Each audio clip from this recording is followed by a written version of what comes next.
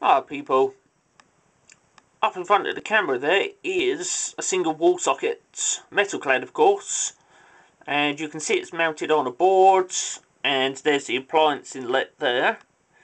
And you're probably thinking what you're looking at there is the Funjiggery Pokery unit, but it's not, okay. Uh, what I've got there is my new soft starter unit. I have now fully wired it all up. And uh, I'll say we pull the camera back and have a look at uh, the new features and functions and controls on this soft starter unit. Okay, here we go. To start with then, we've got an appliance inlet there. I'm going to explain what this plug and this flex is for in a minute. And next to that socket, we have got control panel. Okay. So there it is. And all of that lot is sat on top of my big air rotor fan. Okay.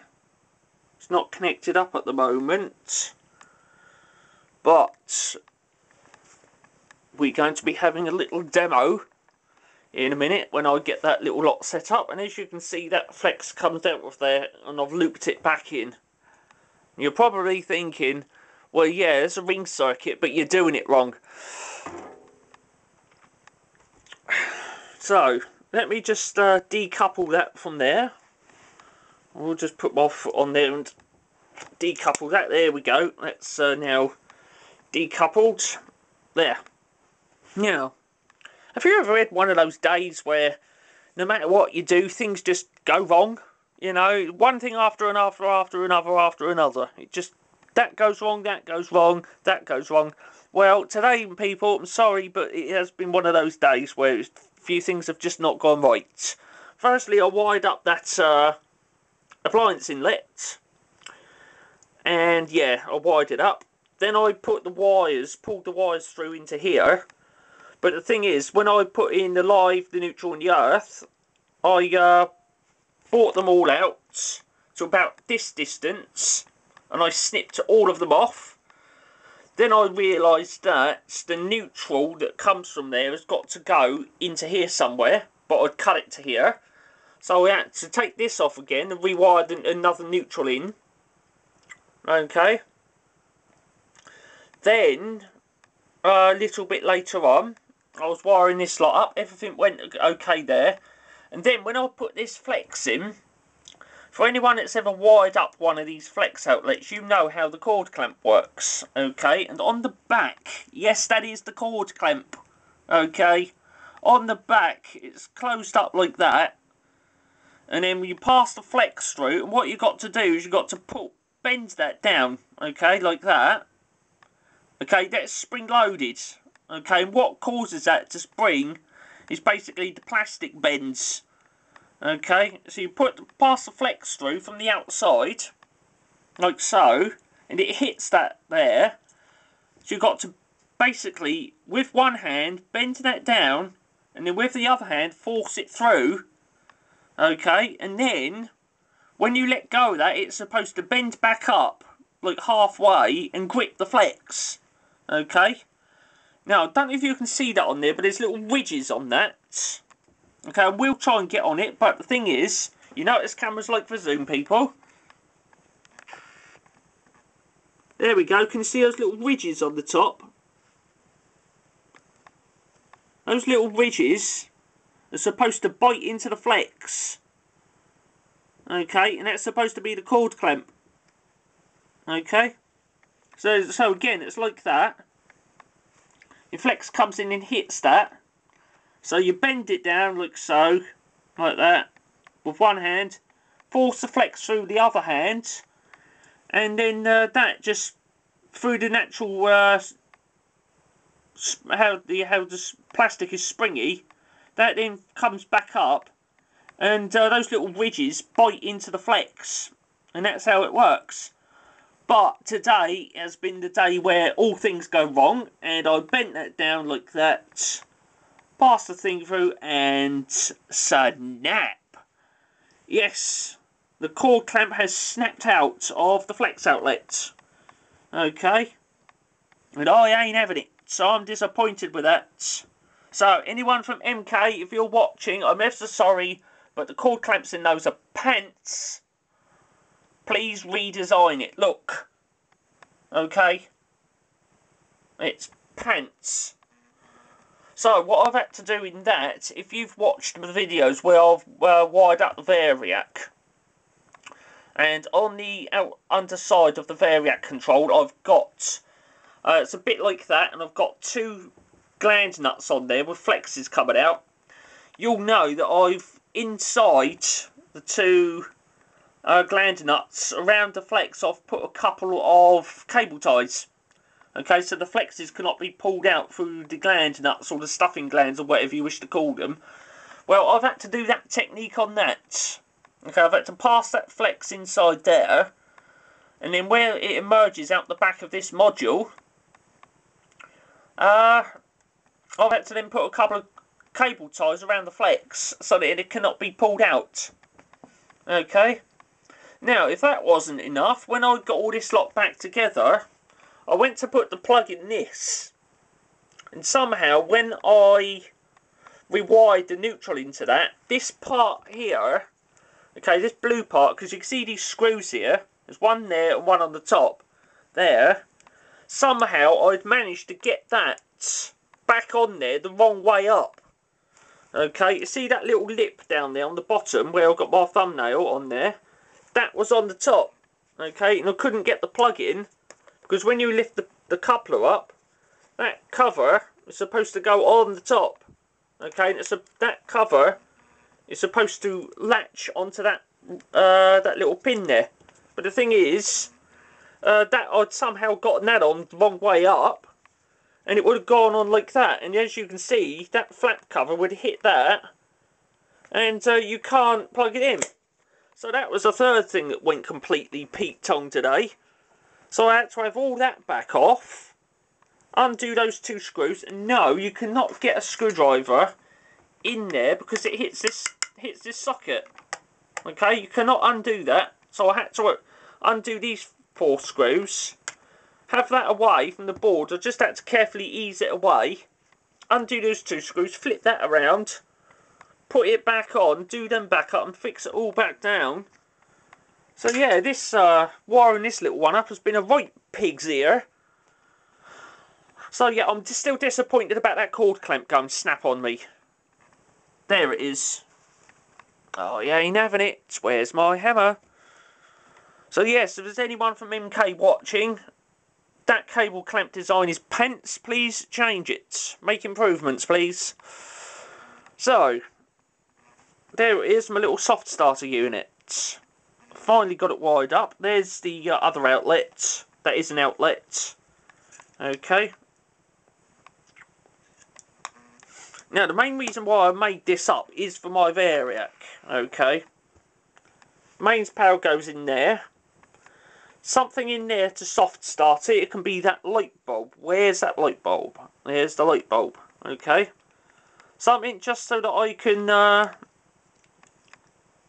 shall we say, take the edge off the inrush associated with that Variac. Okay. So the power comes in there, through the light bulb, through our control panel, and then out, okay, to the Variac. And then, once I've turned the Variac on and I've got it fluxed up, I then uh, want a way where I can bypass that. Okay, and that's what that switch there does. Okay, that switch turns that on and off. Okay, it's a double pole switch, that one. So, let's have a look at that control panel now. And Let's just take that out for now because that's a glass bulb and I don't want to break it. So, on the control panel we have got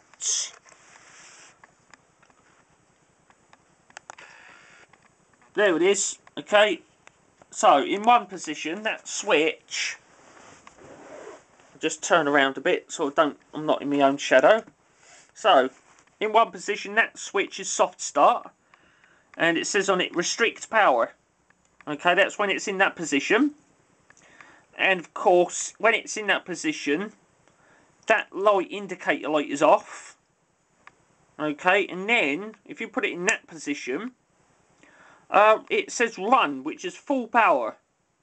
Okay, when it's in that position, that indicator light also comes on. And that is to say that that output there is getting full power, unrestricted from that. Okay, but before you press that into run mode, you've obviously got to turn on the output. Okay, so it says it says output off and on. when it's in the on position, it obviously goes to this flex. And there it says output flex.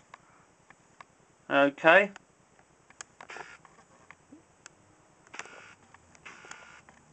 So there it is. There. Okay. So that's what that's for. So I can put the power in, put a uh, something to restrict the load a bit in there. Turn that on. And then what's on that flex will run, but it'll run restricted. Okay, and then once, let's say for example, my Variac, once I've got it fluxed up, I can then press that switch there. And as I press that, what's on there gets the full the full power unrestricted and to indicate that it is getting the full power that indicator light comes on. Okay. So let's just give it another quick looking over. Is that on there? There's appliance inlet and on the other end of that is 16 amp outlet there. Okay. So for 12 minutes I'd say we get this little lot set up and do a demo. Up in front of the camera there, I've got the old air rotor fan. So, we're going to... Uh... Oh, that's not going to go, is it? Well, I'm going to need a converter then. Okay. Got that on one end and that on the other. So I'm going to put the, the air rotor fan in there. Like so. There we go. And then that there and that there, I'm going to uh, make those up together.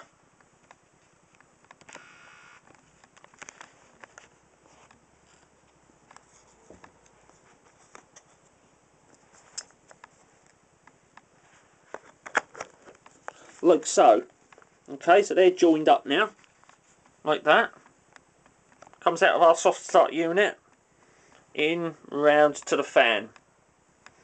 Okay in this side, I'm not going to use that light bulb because that light bulb is far too restrictive. Okay. Oh, I think it's a 60 watt lamp on there. Oh, yeah, it's a 60 watt lamp. So, in that side, I am going to use that little heater. Okay. It does restrict that fan just enough so that we can see it running, but it doesn't run at full power.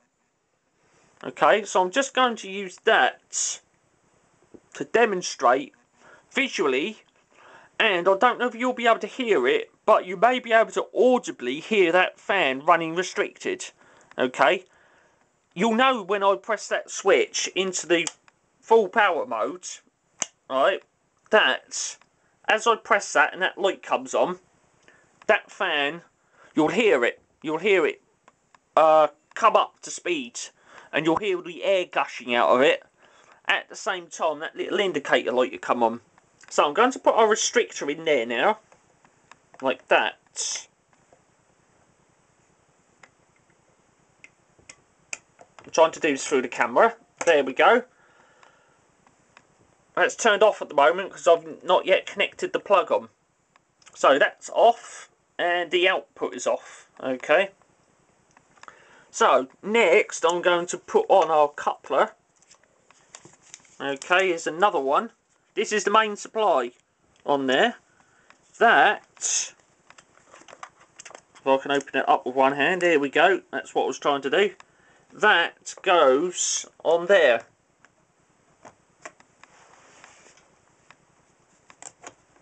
Like so Okay, so it's the mains coming in there. comes in, comes out of there, through our restrictor, comes all the way back in, comes through, and it's waiting here at the moment. And then when I turn it on, it comes out to the fan. But the fan runs restricted because of that. And then when I push that, uh, it bypasses this. Okay. At the same time, that'll light up. And that fan will go full power. So I'm now going to turn the restrictor on. Like so. That is now on. Okay. Off and on. Next, I'm going to turn that switch there. And that there would then start up our load, but restricted, okay? As you can see, the indicator light's not turned on. Okay, I'm going to give a quick demonstration of the uh, indicator light. There we go. So now, if I turn that on, that will get full power, okay? But I don't want it getting full power yet because I want to soft start it. So there we go. Okay, that's now in the restricted mode. I'm now going to press that to turn on our load while it's restricted. Here we go.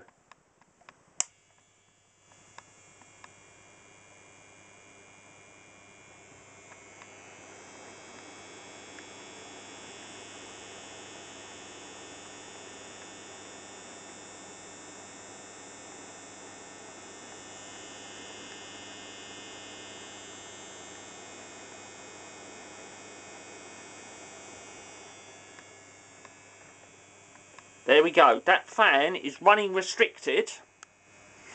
It has been held back by that heater. Okay, the heater doesn't seem to be getting too warm. And now, when I press that switch there, what will happen is that indicator light will come on. It will light up green colour as we've already seen. At the same time, that fan will then get full power and you'll hear it. Okay, you'll hear it uh, rev up. You'll see that air rotor going round much faster and you'll hear all the air gushing out the top. Okay, so I'm going to get that just there so you can see the indicator light and that fan speed up all at the same time. Here we go.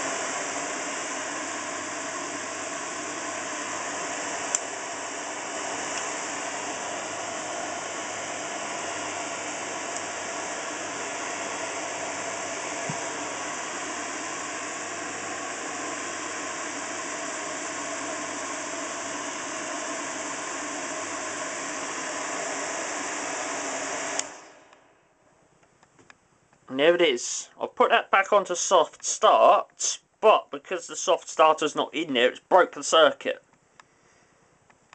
Okay, so let's reset, turn it off. Let's put the restrictor back in. Let's turn it on. Let's turn on our output and I should get that restricted, uh, running restricted again. And then I should give it full power get it up to speed.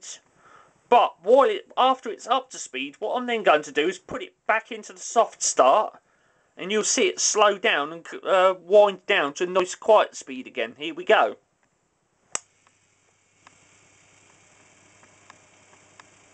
There we go, that's the nice slow speed. Let's give it full power.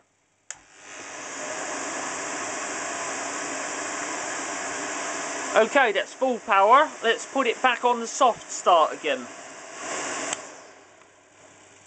And there you go. It's now running restricted again.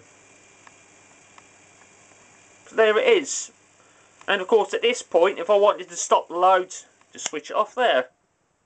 Okay. So there it is. One soft starting unit, people. Thanks for watching.